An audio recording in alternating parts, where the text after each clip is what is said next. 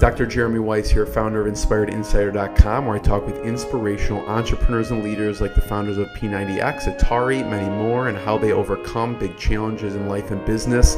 This is part of the e-commerce mastery series where top sellers and experts teach you what really works to boost your e-commerce business. Our sponsor today is Rise25.com, where entrepreneurs of six, seven, eight figure businesses come together live and in person every few months to solve their biggest business challenges and leave with lifelong friendships. Check out Rise25.com. It's run by myself and co founder John Corcoran. It's application only. Today, I'm very excited. I heard about this company and this founder because I actually got a package delivered to me um, I interviewed the founder of Simple Squares, and I got the package. I'm like, this is this is good. I like this, and I looked. Oh, it was shipped from ShipBob. So today we have Divey Gulati, he's co-founder of ShipBob, and they, he started it with his partner Dhruv Saxena. ShipBob provides automation and on-demand shipping and packaging for small businesses. They shipped out over 500,000 packages to date and growing fast. That's why he's in this office because I think he got kicked out of his office because they need the space. Uh, they've raised over $5 million to date and serve businesses in Chicago, New York, and LA. Divey, thanks for joining me. Oh, it's a pleasure. Divey, I always ask, um, about the software and tools. What software are people using that's so that you know? Obviously, you see a lot of different e-commerce sellers. What are people using that's work that other people should be using? Obviously, ShipBob. What else are people using, um, platform-wise or software to run their business? That's important. Uh, ShipBob is a game-changing software which everyone should use. right. But apart from being biased about the own software we've, which we've built, we've seen a lot of traction on Shopify. Yeah. Shopify is a platform that is easy to plug and play, and people like a lot of our customers have moved for Shopify from other platforms really? as well, just because the ease of use and the flexibility it gives you. Yeah. So Shopify is definitely if you're still if the listeners or the viewers are still trying to figure out which platform to use, Shopify is a definitely a good start, which is plug and play. Yeah. Any other integration partners that you found valuable because customers have mentioned them?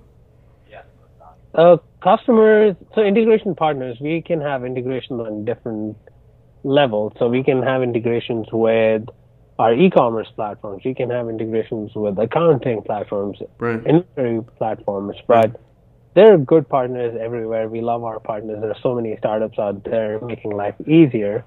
So I mentioned Shopify is good for e-commerce, and there's something for accounting. Bench, they have done a great job in making accounting simple, yeah. and the other software. So on the CRM side, we use CRM Close.io. Really, yeah, they're great, and they've actually visited our office as well. So these different tools are very helpful for a soft for a mm-hmm. company like us who's growing and you don't want to build everything yourself. Yeah, yeah. Divey, two last questions. First, let's point people where should they check out shipbob.com and Bob stands for bend over backwards. So how did you come up with the name? Yeah, so well, there are two stories to it. I can give you both sides of the story. Why Bob exists. So Bob uh, stands for bending over backwards. Right. Now. That means we are bending over backwards for our customer yeah. shipping needs. I like it. That's one story which we love to tell people. And there's another story. You have an uncle in India, and his name is Bob. no, no, oh, okay. no. I wish that was the case. But the other story was we were looking at some other names like Ship Tiger, Ship Hawk, etc. We could not find it, and we found Ship Bob. That was available. That domain was available. Yeah, ShipBob was the only thing available for two dollars fifty cents a year. Wow, ShipBob was available. I'm so surprised. Yeah, so that was the reason we went. You had to make it work. Yeah, and we created a persona who this Bob is. Bob is an average American person who's in middle class, trying to help people, a small business owner probably, and that just became Bob. And with Ship, we just put a hat on the Bob and became Ship Captain Bob. I love it. What's been last two questions of you. What's been the lowest moment, a hard time that you push through? Because startups, running a business, it's not easy.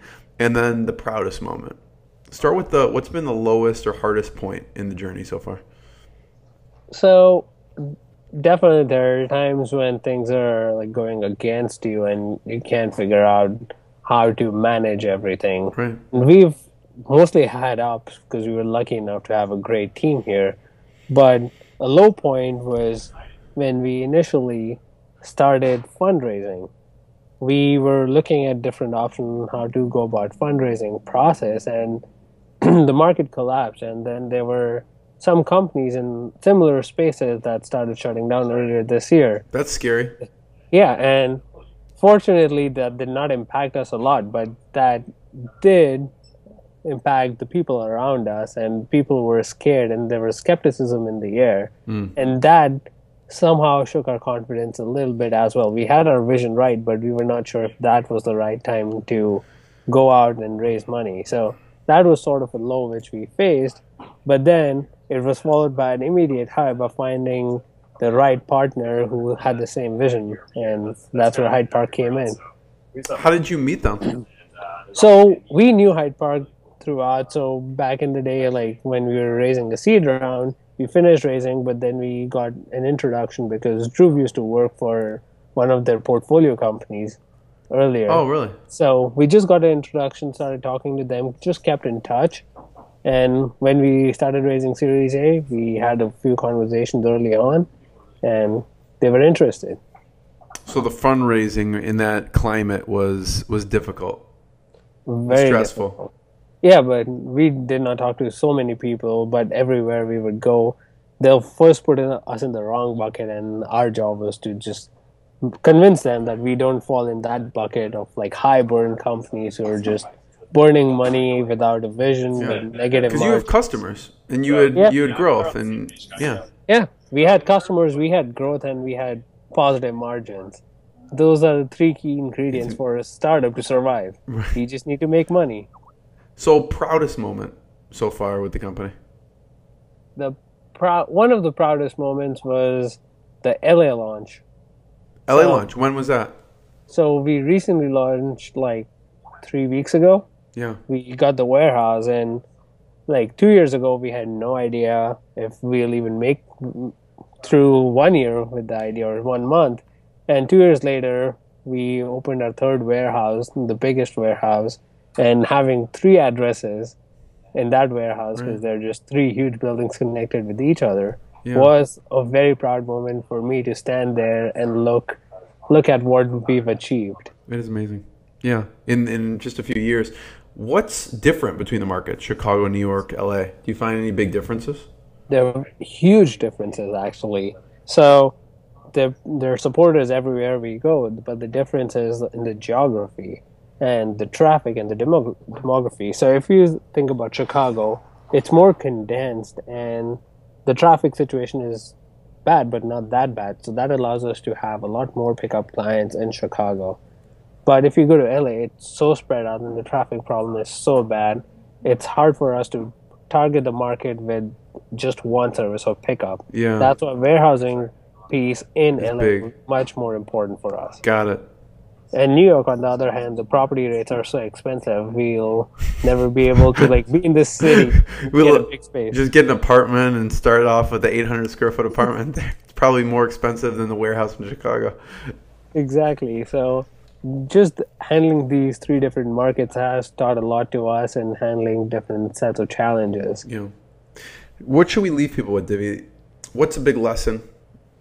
Entrepreneurship. The biggest lesson is don't take no as an answer and get used to rejections because that's what we did standing in line at the standing in front of the post office as you mentioned. You would not give your credit card to anyone. But still Right. not taking that no for an answer and taking that rejection with a pinch of salt and go to the next person with the same energy and try to convince them why changing the world and what's the vision. Yeah. in 30 seconds that was a great challenge for us but we made it through we got great customers out of it who are still using us so that would be one key takeaway for all Yeah. the entrepreneurs out there Divey, congratulations with all the success with ShipBob. Everyone should check out shipbob.com. Thanks, Divey. I appreciate it. thank you jeremy this was a really fun conversation Great. okay take care